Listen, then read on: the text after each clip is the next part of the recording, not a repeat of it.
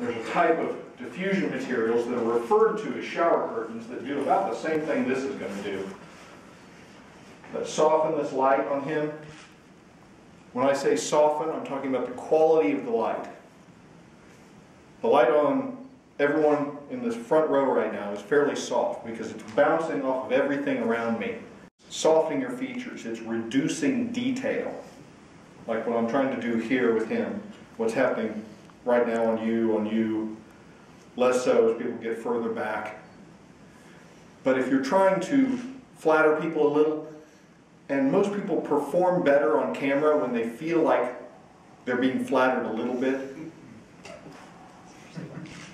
As you know, as vain as that might sound, it's just a lot easier to work on camera if you feel comfortable, if you feel like your every flaw isn't being minutely examined.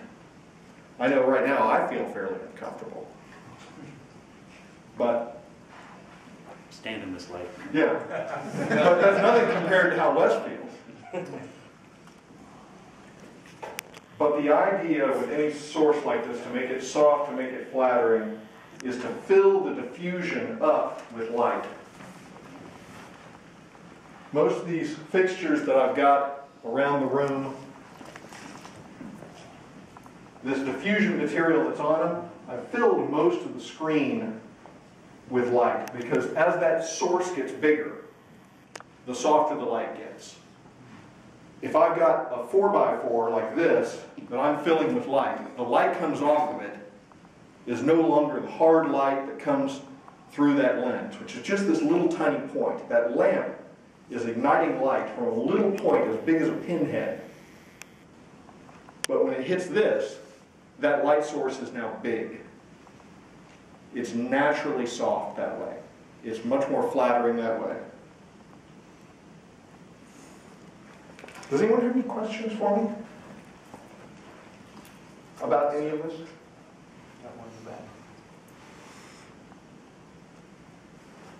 I can't see very well. I have a, a, general question more about how you deal with fluorescents. If you're shooting inside, and I know fluorescents is generally bad, um, how do you minimize the fluorescent effect with stuff you've got laying around?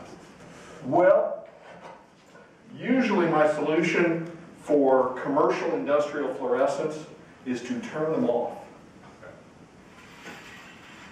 With stuff laying around, the best thing you can do is white balance for those lights.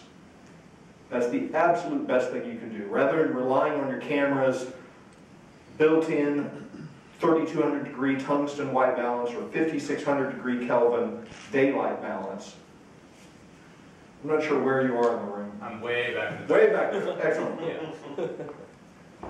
The best thing is to do a custom white balance for that light. To take that light, put a white card in front of it, aim the camera and fill the camera's lens, fill the picture image with that white card, and tell the camera that's white because as far as the camera is concerned, from then on, that will be its new white point. That's how it'll judge light from there on. Our eyes don't, don't work like that. They're not fixed. Our eyes adjust. Our brain adjusts what we see as white light. Cameras can't do that. They can't do it continuously that way, or at least professional cameras don't. I'm not aware of any consumer-grade cameras that do that or do that well, that can continuously change color temperature where they can deal with mixed sources the way our eyes and our brains do. So you have to pick something. If I'm trying to flatter someone with light, I'm usually going to choose to key them with something that's going to end up looking to the camera like white light. Now I may play mixed sources around them. I may come in and hit them with a little LED fixture. I may gel something. And I may throw some light at them that's a different color. But that's usually as a backlight, as an edge light. I'll throw it into their fill side. Does that answer your question? Uh, yeah, yeah, uh, to some degree. Like, so for example, like we shoot a lot of uh, just little short videos around the office, mm -hmm. right? So we've got a room that's got windows, but the natural, but they're so dark, there's really no natural light that comes through very well. Yeah. We're stuck in a room with fluorescent light and a few, we got a couple, we've got a couple lights for key, but they're so damn harsh that they throw a real harsh shadow on the subject and then against the wall. And so we don't have anything really to fill. And then Okay. and we turn off the fluorescents, it's too damn dark, and we wind up with this, you know, synchronicity video effect, right? Or, you know, police video effect. And so I'm Well- trying to figure out how do I. The best thing? I can recommend is preparation, is you know you're gonna encounter situations, especially if, if you shoot a lot on location and you're going to places you haven't had a chance to scout before you go into them. Mhm. You haven't had a chance to walk around, look around, and see what your environment is like. The best thing you can do is bring some tools with you, be it a flex fill, just a regular photographic flex fill can be your best friend because that thing travels small and pops out and becomes big. And just to be able to take that and put it on a chair with a book so it doesn't slide off, and just slide it in at the edge of the frame and do what I was doing with that bounce board. Move it in and reduce contrast. Allow people to see into that fill size so they can see what the person who's communicating the content is saying. I mean, for a lot of you, audio is probably more important, and I hate to denigrate what I do, but audio is probably more important than what I do. It's more important for you to hear what the speaker says than to see the image. Uh, There's a movie called The Blair Witch Project that, you know, the hallmark of that movie is ugly, horrid images, just some, some really ugly cinematography. Nothing in that film looks good from an aesthetic standpoint.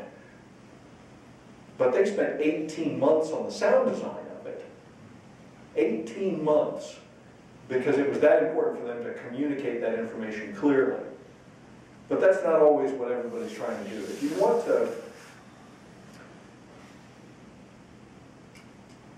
if you want to create an image that's something other than ugly, something, because most cameras, that's what they're going to capture. If you're not controlling the light in the situation just a little bit, the image is likely to be unflattering. Uh, and that can be a distraction. If you're trying to communicate information to people, if the image is just off-putting in and of itself, you're less likely to get people to get involved with the information you're trying to present. And if, if the information is king, then anything you can do to assist it, assist the message, is probably worth doing. Now, I'm not necessarily talking about uh,